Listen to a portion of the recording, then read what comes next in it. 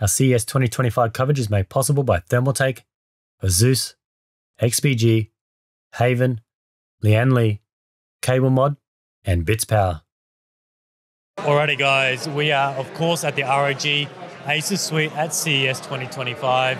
Welcome back, guys. I'm Stuart from GGF, and we have a lot to cover here at this suite. It's going to be a little bit all over the place. It's going to be a little bit noisy, so I do apologize for that because there are some very hot products behind me, and everyone wants to take a look. So you have the brand new 50 series NVIDIA cards from Asus, or maybe not so, so much Asus, but from the ROG Republic of Gamers department. So we have the brand new Astral cards here, we have the Strix over here, and then we go down to the TUF, and then also the Prime. Prime we saw a little bit of Computex uh, last year. It's had a redesign, and I really do appreciate the new aesthetics that cards has. Now, main thing I want to get out of the way, the Strix. Strix is now not the top dog when it comes to the 50 series cards. Now, when I mean top of the line, that's where it was uh, previously, but then there are also the Halo products like the Matrix and things like that. Uh, there's none of those just yet. We may see them later on, but currently the top of line card is going to be the Astral. This is a brand new design. Now, I saw early renders of this card. Uh, I would say closer to the end of last year, and this is before they even had the naming scheme. So they wanted a card that lined up with the ROG Extreme series, or more or less just the ROG line, because there was the ROG Strix, which worked nicely. You had all the ROG Strix boards, but I felt like the Extreme motherboard range was a little bit on its own because you had to pair it with something like an ROG Strix motherboard. So now they've came, come out with this uh, Astral series. Now this would just look perfect in a, just think of something like an ROG Extreme motherboard. When it came with the naming scheme, they reached out to me and said, hey, what do you think would be a cool name for this? And I just said, let's just go with the Extreme. I really like the Extreme. That means you could go with an Extreme motherboard, you could go an Extreme GPU. It would be absolutely perfect. You've got your ROG uh, Strix over here, you've got your Strix motherboard, your whole Strix lineup. That's it. But they went with the Astral. I'm not sure uh, how they came up with that, but that's what they came with. The Astral also comes in an LC version. It looks like this is the same all-in-one cooler that came on the recent 4090 Matrix. Obviously, the LC part up here is a little bit different than the Matrix. It does have similar design elements. I'll get some shots on the back, but it is a very nice looking card for that one. This card here is very heavy. Oh yes, 5090, very heavy. I'm not going to go too much into the specs. I'm sure all of you guys have watched all the YouTube videos. Uh, you probably watched the keynote and all that. I'm just going to go over more of the aesthetics, the sizes of the card. This one's looking like it's going to be nearly a four slot card. I don't want to take this off with one hand. I don't want to drop it. It is very heavy.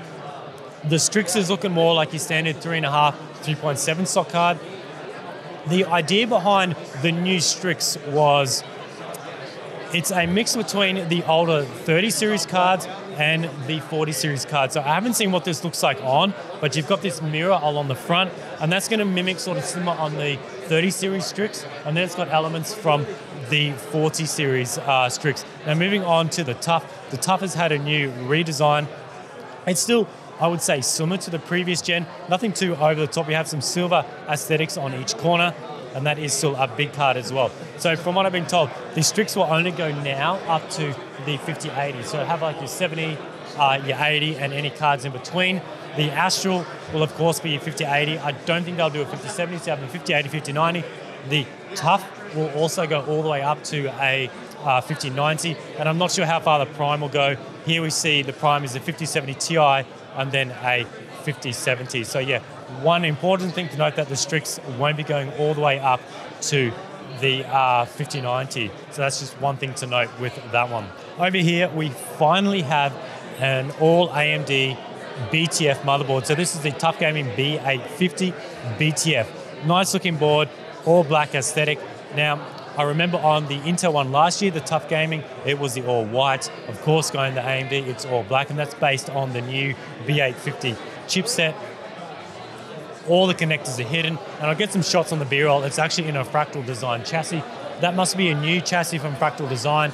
Uh, it is based on their standard North. It looks like an XL, but it does have the back connect capability for that chassis.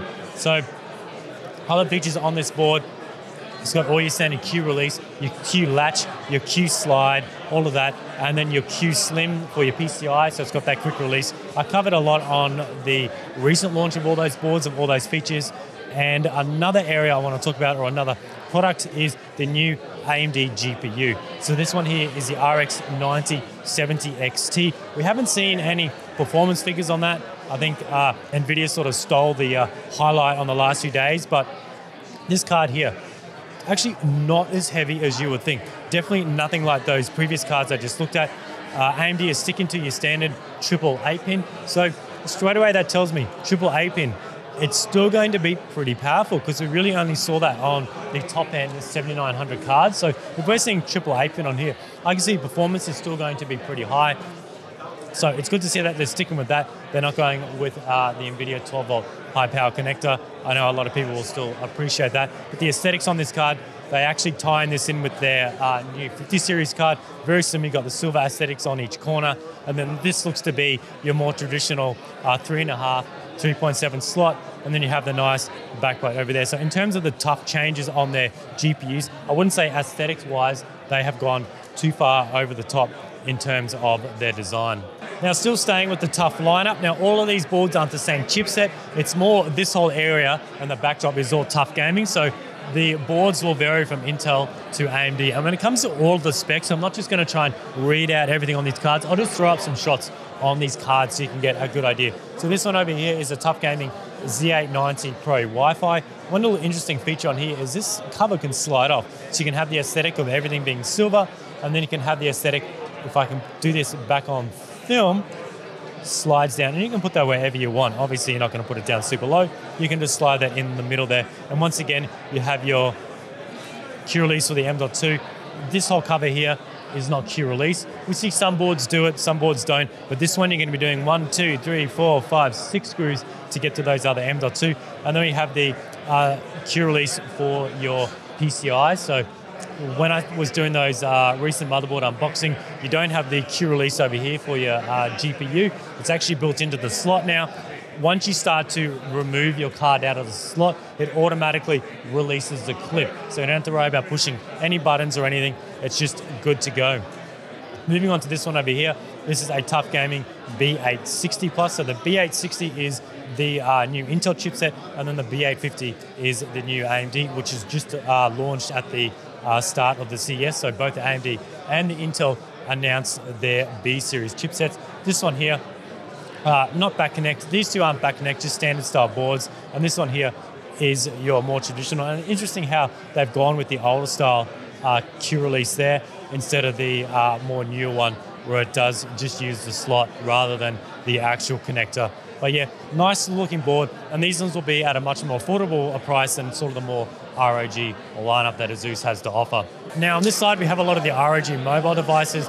This is also uh, their ROG NUC. I'll talk a little about that in a sec. But the, behind me over here, we have the ROG Phone 9s, the 9 Pros. They're looking really sweet, and they've got some fancy designs on the back. I won't talk about those because I'm more interested in this monster-looking 2025 NUC. As you can see, it's had a bit of a redesign than before, but the main standout feature I saw on this, it is running up to an RTX 5080.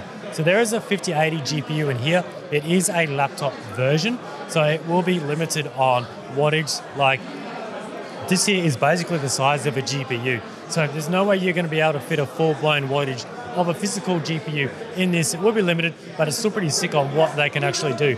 Now, I actually spoke to the guys at ROG and I said, hey, is this model actually running this GPU, it actually is. It is in there. It's not just a mock-up. It's not just a shell. This is an actual unit. It has a Intel Core Ultra 9 CPU Series 2. It can run up to 96 gigabytes of DDR5. Now, I thought, okay, that's cool, but some of the ROG products before, the laptops and that, a lot of them were soldered. They normally give you one slot, one soldered, but these are both SO-DIMMs. So that's what I was told. So if you want to upgrade that later on in the future, they're physical SO-DIMM slots. That's good to see.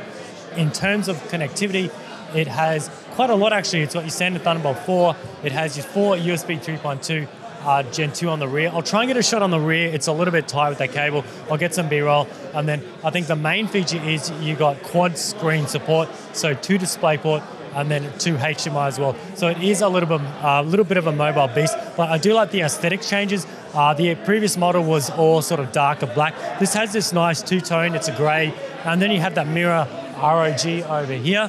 And then on the back side, which I'll get a shot on, it's got some, it's got the RGI that has the RGB, and you can control that as well, of course, with the Armoury Crate in their software. I want to thank ROG for supporting our CS coverage. They are a great supporter of our channel as well, and we'll see you on the next one.